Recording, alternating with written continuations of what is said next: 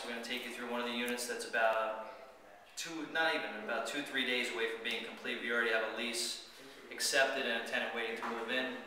Just give you guys an idea of what we're doing to the units. This is a three-bedroom apartment, unit 39.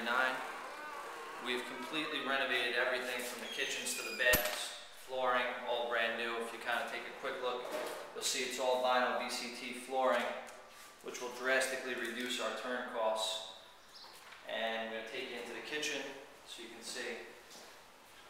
And this apartment is rented for five sixty-five um, as we speak, but this is, I mean, everything's brand new, from the cabinets to the countertops, the faucets, all the lighting.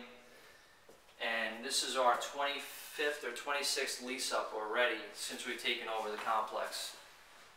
Jesse's going to give you, you know, he's going to give you the visuals as we take you through this. Let's, um, I'll head over towards the bedrooms. But this room right here, these are two of our guys that run the jobs here. Say hello, gentlemen. Hey, how you doing? And uh, this is a living room, dining room combination, big space. Toilet don't stay. Toilet does not stay in the living room. But You'll see this is one of the bathrooms we completely renovated from top to bottom.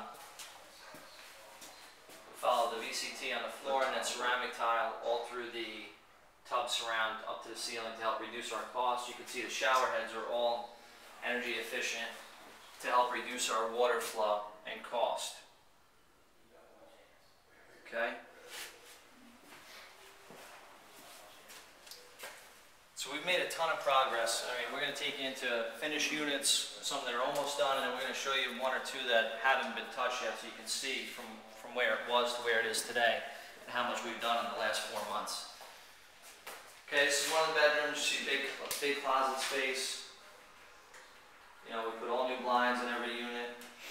All the windows are replacement. And uh, smoke detectors.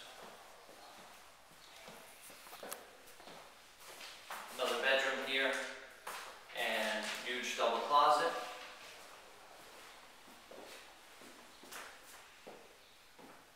Now we're, we're uh, gonna go into the third bedroom.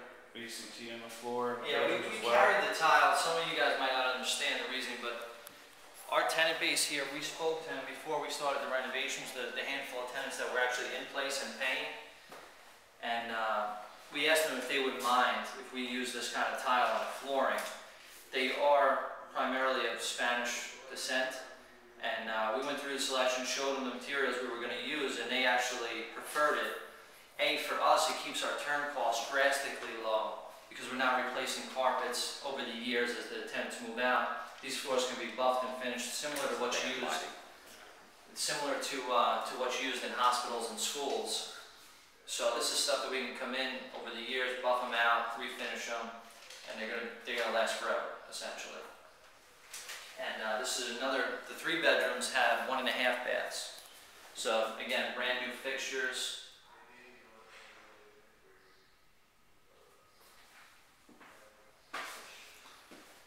Yeah, and that's it. We're going to take in some other units uh, in a little bit.